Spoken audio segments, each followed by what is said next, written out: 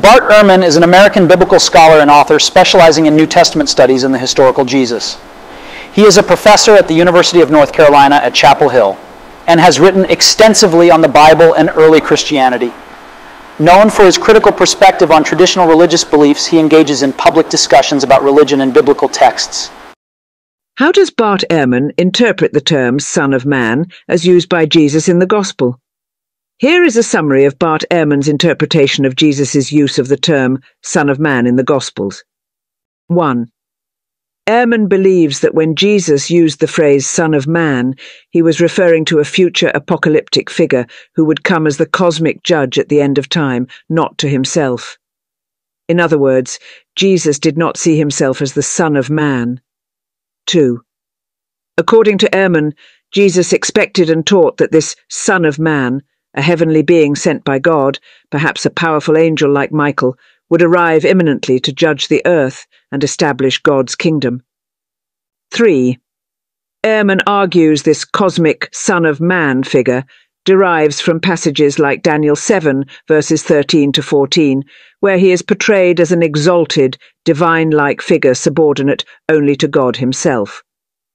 However, Ehrman maintains this figure was still understood to be human, not divine, since that is what Son of Man means. 4. In Ehrman's view, it was only after Jesus' death that his disciples came to believe that Jesus himself was the Son of Man he had predicted would come. The Gospels then place this title on Jesus' own lips as a self-designation. 5. While Ehrman acknowledges that Paul seems to equate Jesus with the Danielic Son of Man in 1 Thessalonians, he argues these are likely later additions representing more developed Christology, not Jesus' original teachings.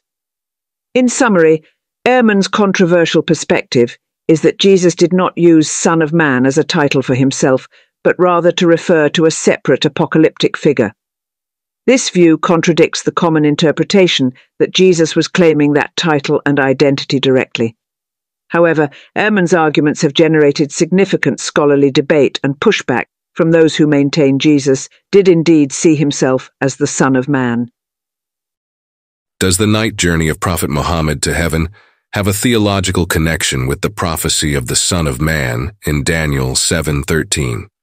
Please provide a detailed explanation to support this argument, the argument connecting the night journey of the Prophet Muhammad to heaven.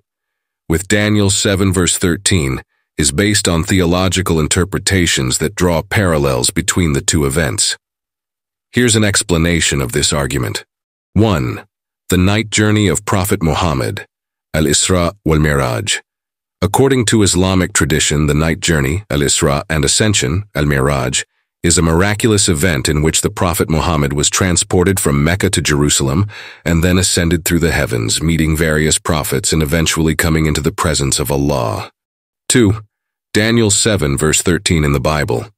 In the book of Daniel in the Old Testament of the Bible, specifically in Daniel 7 verse 13, there is a prophecy that says, I saw in the night visions, and behold, with the clouds of heaven there came one like a son of man, and he came to the Ancient of Days, that is God, and was presented before him.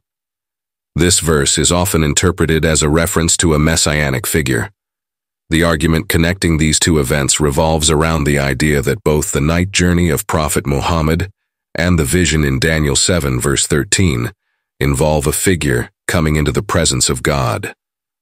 Some scholars, particularly in comparative religion and interfaith dialogue, suggest that there are thematic similarities between these events. Divine revelation.